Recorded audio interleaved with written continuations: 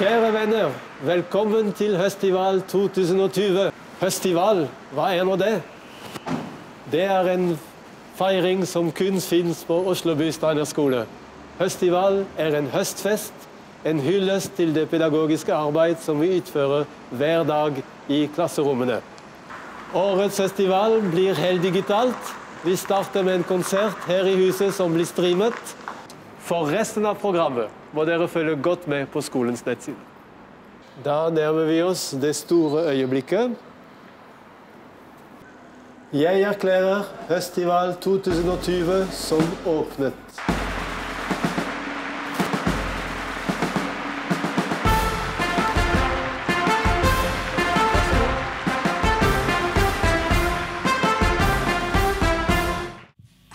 Velkommen til Hits-konserten for Oslo Bisteinerskole og Musikklinja. Eh, dere skal nå få høre masse topphits fra mange mange år av hele musikklinja, både første, andre og tredje klasse. Så det er bare å lene seg tilbake og nyte det. God fornøyelse. Hei og velkommen til festivalen. Eh, I dag, eller den første sangen ut vi skal synge, eh, er Patti LaBelle sin originale 'Lady Marmalade', eh, skrevet i 1974 av Kenny Nolan og Bob Crew. Hey,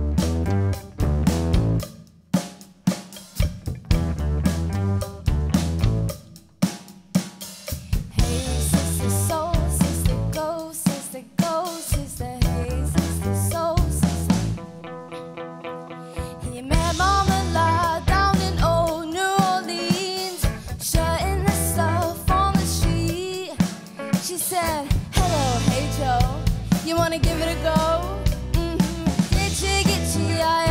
Da, da. Gitchi, gitchi, ya, ya, here. Mocha chocolata, ya, ya. Creole lady mama. Voulez-vous coucher?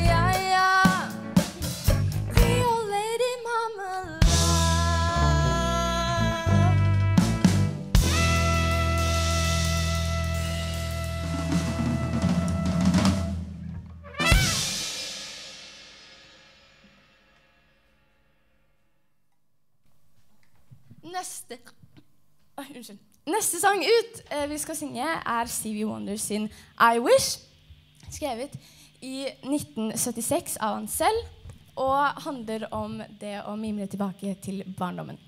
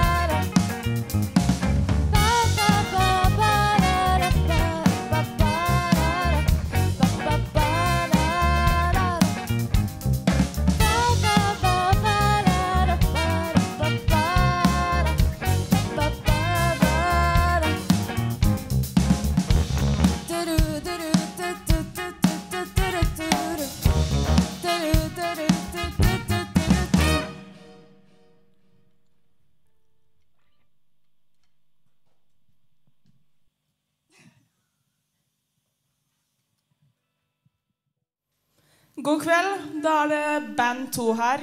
Eh, vi skal synge en sang som eh, ble nummer én på Billboard-lista 30. april i 1983. Og den satt da på førsteplass i tre uker. Dette her er 'Beat It' av Michael Jackson.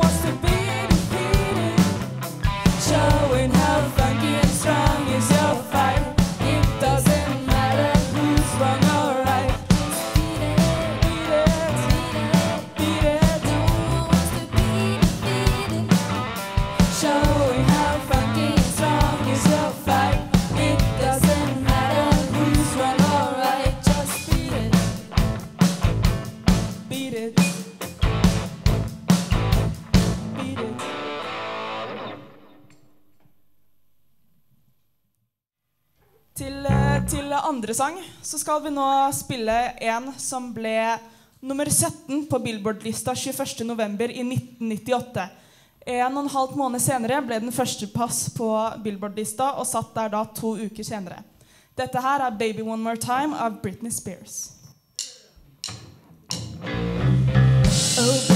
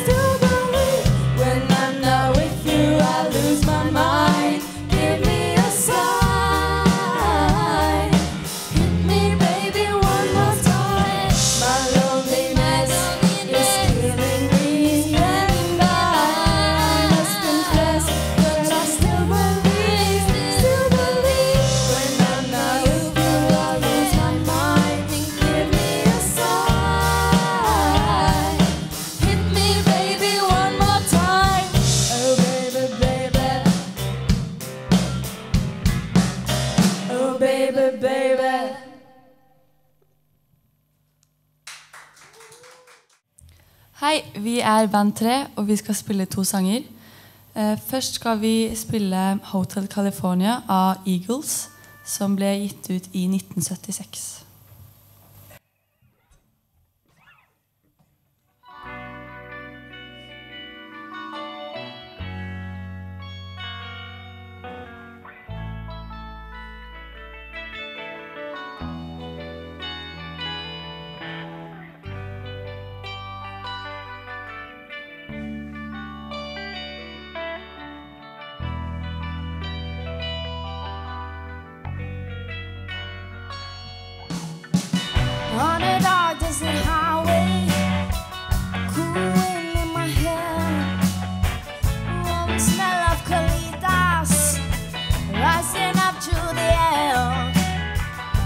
In the distance, I saw a shimmering light.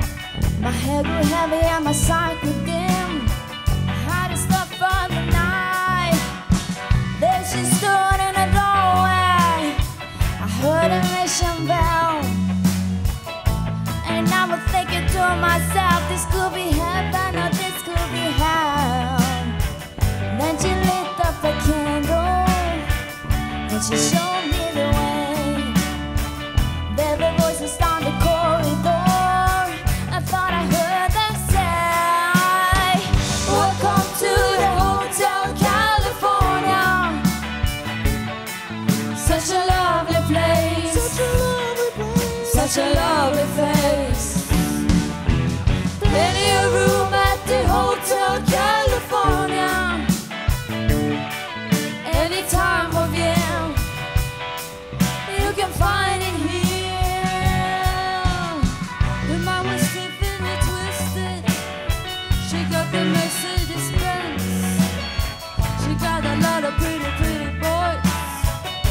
she calls friends.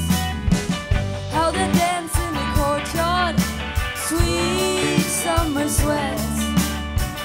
Some dance to remember, some dance to forget.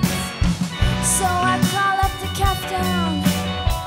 Please bring me my wine. He said, We haven't had that spirit here since 1969. And still those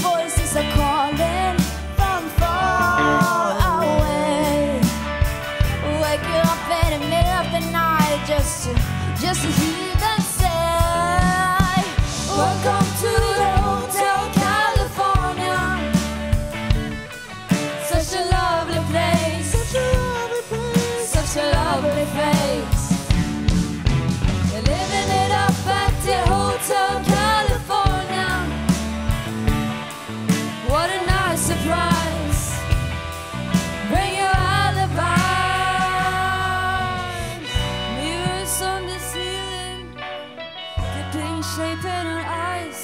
said, We are all just prisoners here.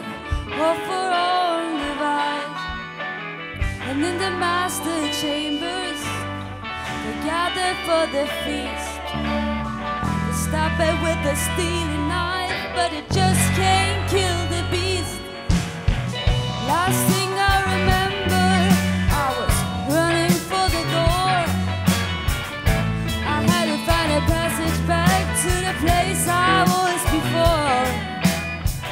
Will I?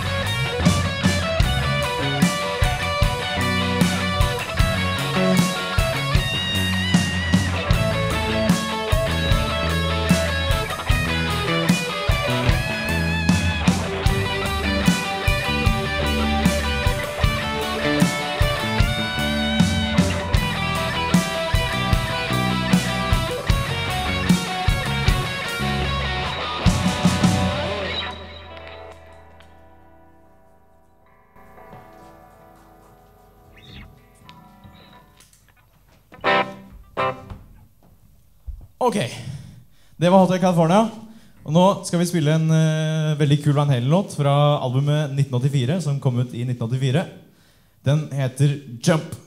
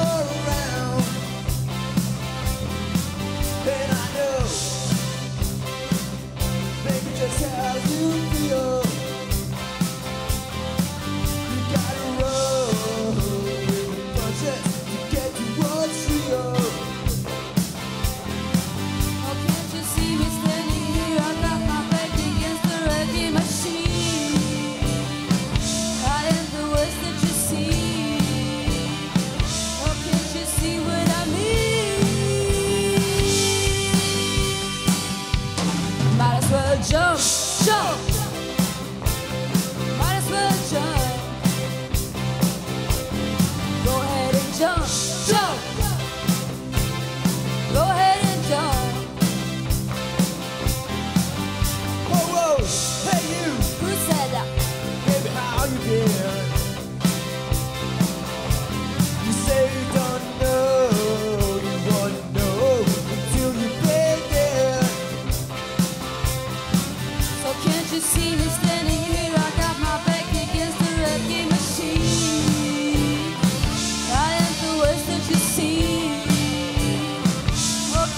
see what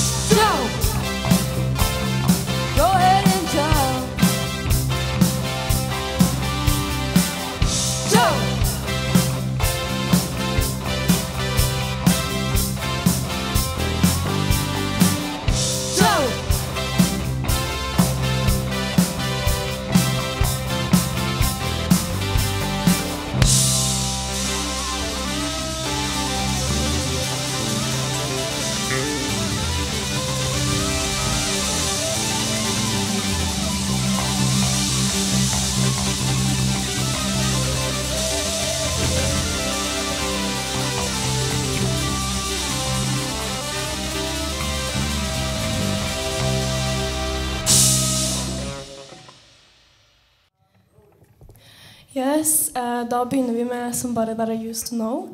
'Somebody That I Used To Know' ble skrevet av Gotøye. Det er Gotøye og den newzealandske Kamira som står som hovedvokalisten i denne sangen. Den kom ut 5.7.2011 og sto 15 uker på Billboard-listene.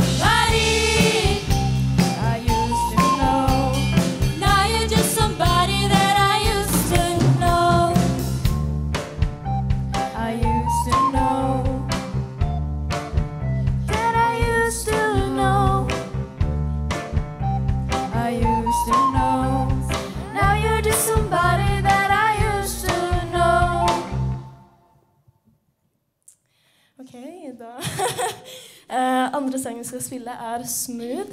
Smooth kom ut 29.6.1999 og var på nummer én. Var siste nummer én-hit i 1999 og første nummer én-hit på 2000-tallet. Den er skrevet av Ital Sher og Rob Thomas, sunget av Rob Thomas og produsert av Matt Sticklesburg.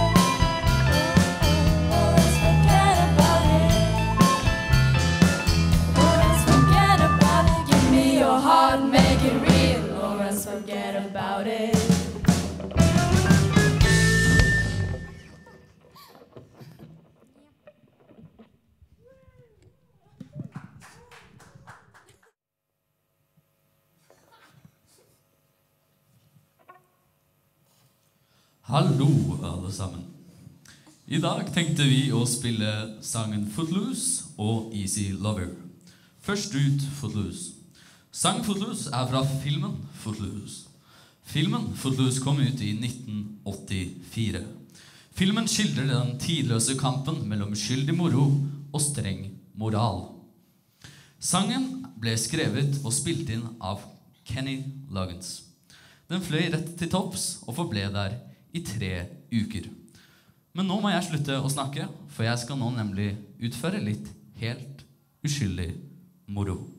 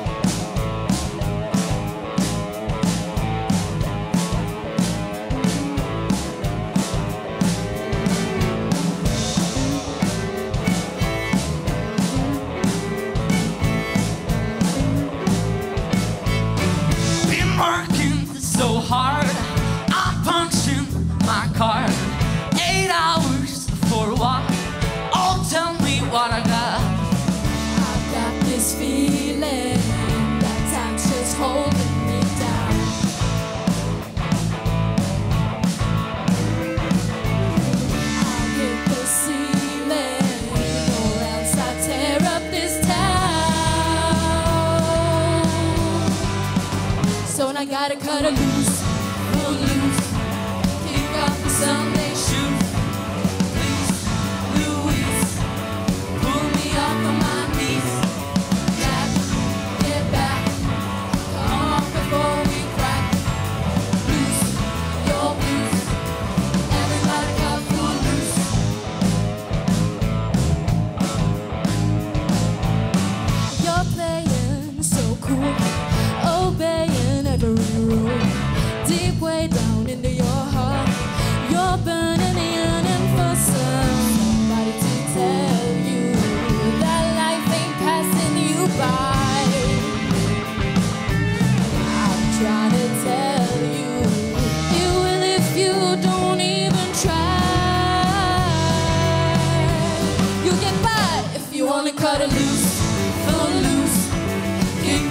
Sunday shoes.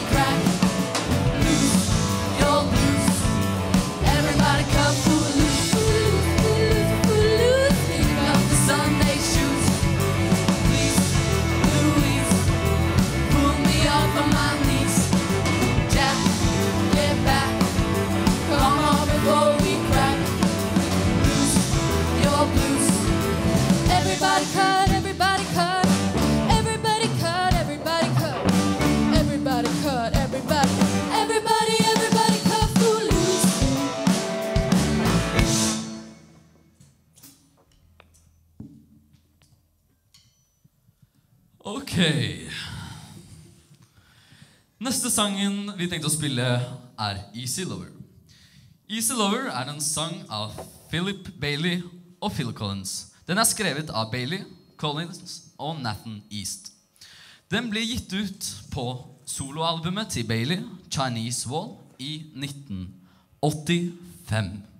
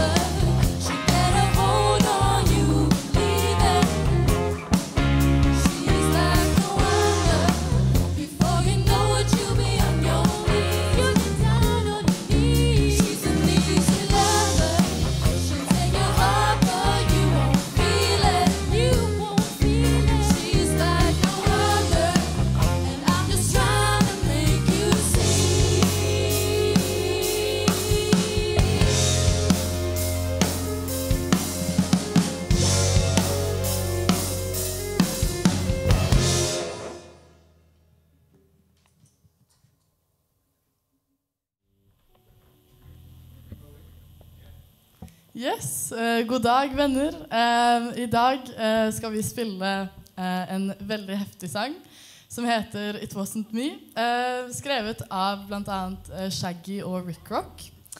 Denne toppet Billboard-listen eh, i mars eh, 2003. Beste året. Eh, ja, eh, så da, vi, da kan dere bare kose dere. Eh, ja.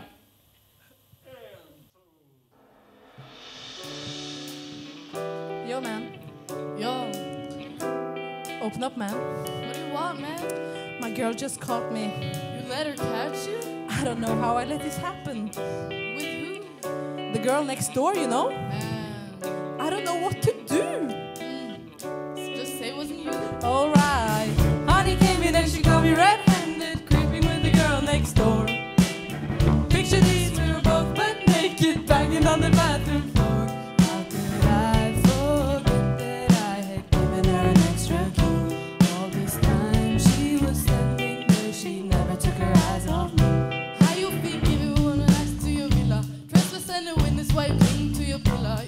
Watch your back before she turn into a killer. Let's review the situations that you caught up in. Her. To be a true play, you to know how to play. If she say night, convince her day. Never admit to a word when she say. And if she claim how you tell her, baby, no way, no. But she caught me on the counter. It wasn't me. Saw me banging on the sofa. It wasn't me. She even had her in the shower. It wasn't me. She even caught me on camera.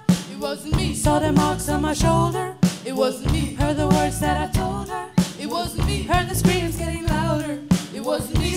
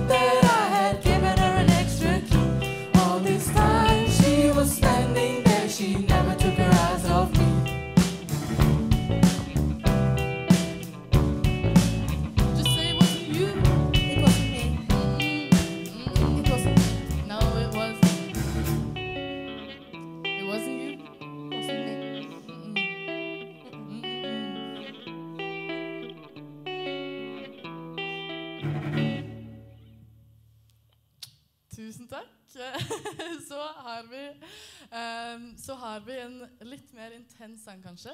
Eh, tipper alle har hørt den. Eh, I Will Survive heter den. Eh, skrevet av bl.a.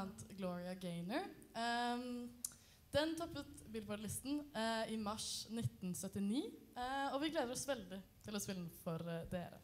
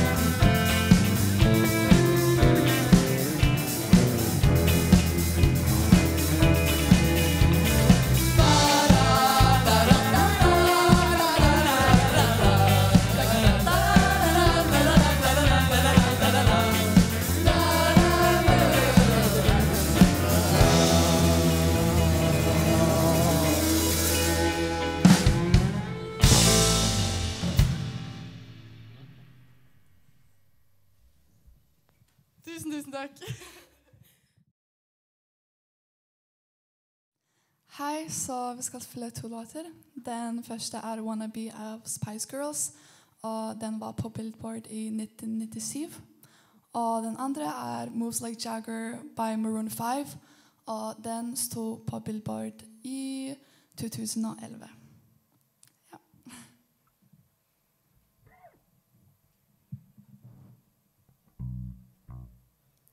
Ha ha Yo, I'll tell you what I want, what I really, really want. So tell me what you want, you really, really want.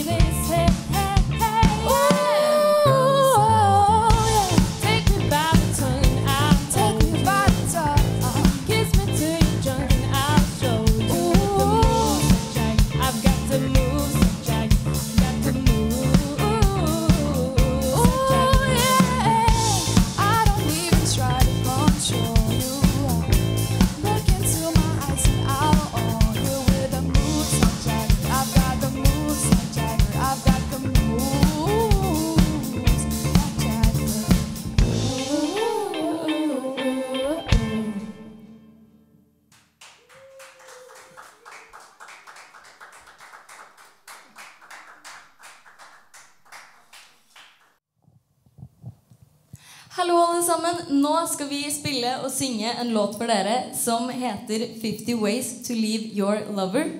Den er skrevet og spilt inn av Paul Simon i 1975. Og i februar i Nei. I februar i Jo, 76 så havna den på førsteplass på Billboard Top 100. Og der var den i tre uker, og totalt på lista i 17 uker. Og nå skal vi spille vår versjon av den.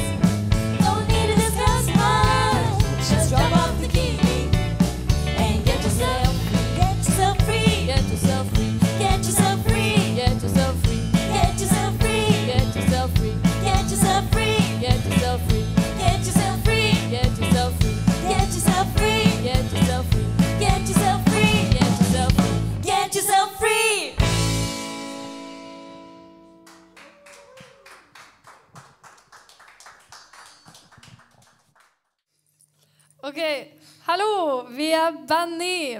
Og nå skal vi fremføre I Kissed a Girl, skrevet av Lucas Gottwald, Katy Perry, Cathy Dennis og hitmaskinen Max Martin.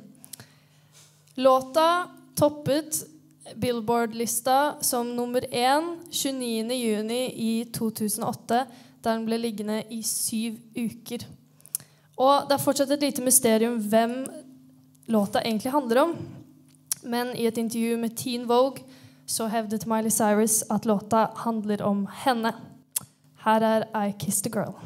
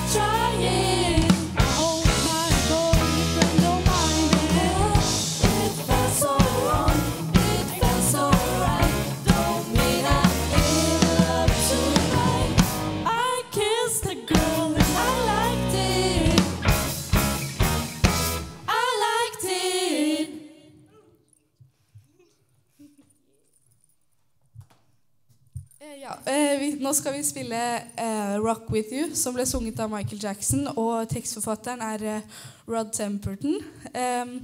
den var på førsteplass i 24 uker på 80-tallet.